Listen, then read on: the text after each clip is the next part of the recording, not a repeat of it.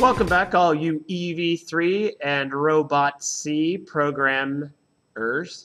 programmers. Uh, I want to talk to you about a better way to do movement using the set uh, sync motor encoder. Um, here it is, set motor sync encoder. There's what we call it. Uh, we've got a motor one, uh, and then I don't know why they call it motor one, and I think that's motor two. All right, but we got the first motor to be synchronized, second motor to be synchronized, a turn ratio, an encoder count, and a signed power. Signed meaning that you can have a negative or a positive. Here are the example in the code. If you want it to go straight, all right, the, the key is what kind of a turn do you want? Um, you want it to have no turn, you give it zero. You want to power to the left, give it, or you want to make it go to the right, set it 100. Now, notice this is your left and your right. So you want to make sure your left motor is, is identified first and your right motor second, or else these turns don't work the way you intend them to. So let's go back and uh, let's take a look at the code. In fact, I'm just going to go ahead and copy this right here because I want to have that available. Notice you do have to add sleep. If you don't add sleep, it doesn't work. First thing I'm going to do is create a speed variable. I don't know if I did that in my last video or not. Uh, the, beauty, the beauty of a speed variable is that you set it once. Uh, and like, and by the way, we're to set it, you declare what kind of a data type it is. It's an integer. We give it a name called speed, and we're going to set it to, let's try 35, for example. Let's say we want to give it a power of 35 in our speed.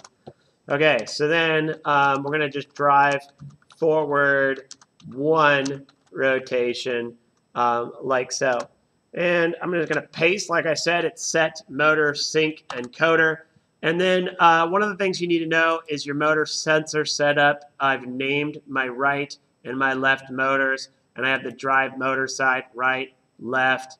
All right, give them names in here, click OK.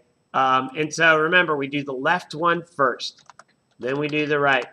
And then we're going to give it zero, which means go forward. And then uh, we're going to give it the number of rotations. The motor encoder 360 is a complete rotation. And then on here, we're going to give it the, the, the power we want to give, and that's speed, the variable we created. And that's drive forward, run rotation. Let's see if we can get this thing working on our robot. And I have my window here so you can see. Um, I don't have my robot built. I know, it's very sad.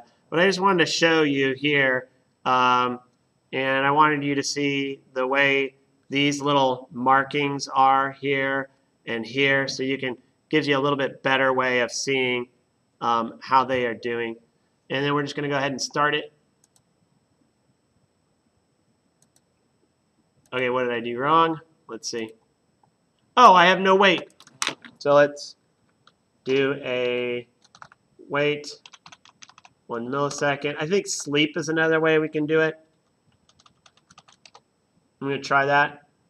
Oh, compile, download. Here we go. One more time. I think it should work now. Hold these two together. Hopefully you can see them. Let's go ahead and start. There you go. Run it again. And remember, we are working on making them more accurate. And so let's change speed. Let's give it a greater speed. Let's try 65 see what happens with the speed of 65. Does that help? Or I mean, is it more, is it less consistent or not? So I think if it's going to be inconsistent, we're going to see it here. Hear that sound? Now this one's a little bit lower than the other, but if you look here, this is like spot on. I'm just going to keep doing it a few times. So I want to try to get it off.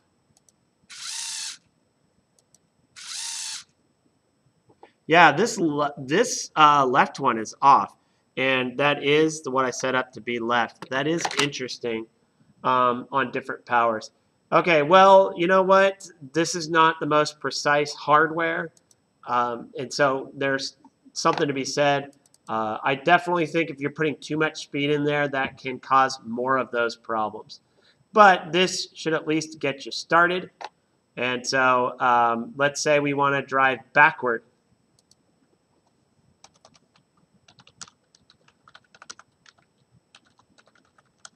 one rotation. Okay. Now, um, what we can do is we can try a couple different things. Uh, what I want to try is we're going to go ahead and copy this. I think we can set it, uh, uh, zero means the same. I think we're going to have to just put negative speed. So let's just see if that does it. It should go forward and then backward. Let's try it. Yeah, there you go. Okay. And let's scale this back to 35. And then we'll do a hard right turn.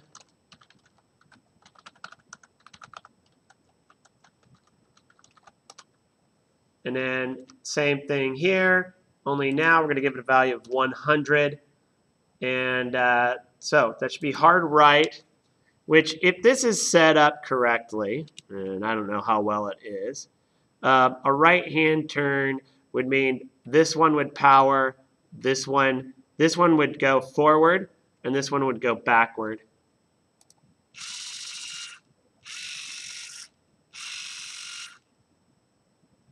Try it again. That's forward, backward. Okay.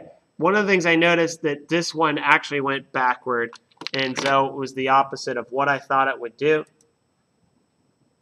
It might be because I did, no, it's positive speed. Try negative, uh, and then we'll try that again. Of course, the better way to do is actually just put it on a working robot and test it out. Forward, backward. All right. Okay, well there you have it. Uh, at least get you started.